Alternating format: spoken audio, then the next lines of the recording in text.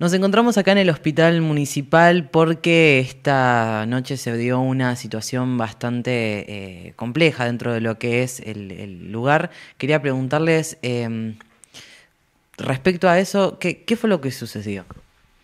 Bueno, a las cuatro y media de la mañana viene una persona masculina con un martillo decidido a romper instalaciones del hospital, principalmente vidrios, más de 20 ventanas y otros vidrios internos de la zona de mesa de entrada, sala de espera, internación, el sector de hemoterapia con destrucción prácticamente total de eh, la puerta de acceso, la zona de quimioterapia también y oncología. Bien, y respecto a eso, ¿cómo, mm, eh, más allá de los daños, había personas que estaban trabajando dentro del hospital? ¿Esas personas pudieron intervenir? ¿Cómo, cómo fue eh, la, detención del sujeto? Sí, había personas que estaban trabajando en ese momento, no en el sector donde él empezó a hacer los daños. Obviamente las personas cuando una enfermera con la que estuve charlando me comentaba que pensaba que estaban arreglando cosas por los golpes y los, los ruidos, ¿no? Y después cuando se acercaron vieron que fue una persona que estaba, era una persona que estaba rompiendo todo y se alejaron, obviamente por el riesgo de, sufrir lesiones, ¿no? Y después, bueno, la, gente, la misma gente eh, que estaba para atenderse y eso hicieron denuncia, vino la policía y tomó las medidas correspondientes, ¿no? Em, y, qué fue lo que le llevó a esa persona? Si bien no se justifica la, acción de este ser, que, que, ¿por qué reaccionó como reaccionó? Bueno, esta persona es familiar de un paciente que falleció el día lunes, que era un señor mayor que se, se presentó con una arritmia grave eh, siete días atrás del fallecimiento. Eh, nosotros realizamos acá en el hospital, se colocó el marcapasos transitorio para, para, mantener estabilizada su arritmia y se solicitó vía PAMI, que era la obra social del paciente, el centro a mayor complejidad y el pedido de marcapasos definitivo, que era el tratamiento definitivo. Eh, bueno, antes del traslado, lamentablemente sufre una arritmia sobre este marcapaso transitorio en, la terapia intensiva y a pesar de la asistencia cardiológica, lamentablemente fallece. Eh, obviamente nosotros, eh, esto es muy doloroso para la, familia, nosotros entendemos.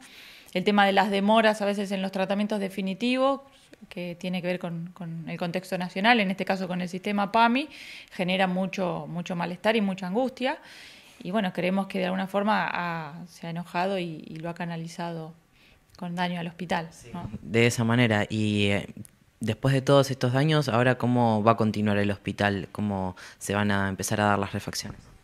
el hospital sigue funcionando, o sea, sigue dando las, eh, las prestaciones que, que, está acostumbrado a dar, ¿no?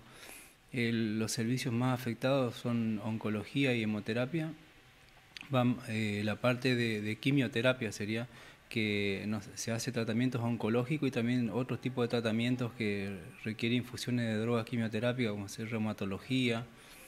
Eh, esa parte está afectada porque los pacientes, por eso te decía que lo del daño es, inmensurable porque uno puede poner valor a un vidrio, pero no le puede poner valor a un paciente que debe recibir un tratamiento que en, en el transcurso, en la evolución de una enfermedad que una medicación puede frenar la evolución de la enfermedad y si no la recibe no, no sabemos la, evolución.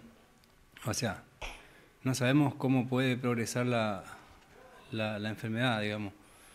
Eh, y después hemoterapia que estaba preparada para recibir donaciones de sangre y no se dan, no se dan las condiciones para que los donantes eh, hagan su, su donación, digamos.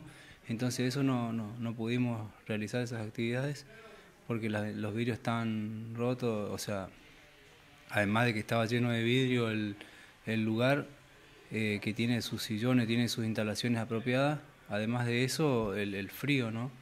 que ya sacarle un volumen de sangre a una persona significa un, grado de afectación, o sea, el, organismo se tiene que adaptar a eso y si además de eso le creamos condiciones... Eh, hostil es peor, ¿no? El frío, toda lo que implica tener todas las instalaciones abiertas, es imposible realizar esas actividades.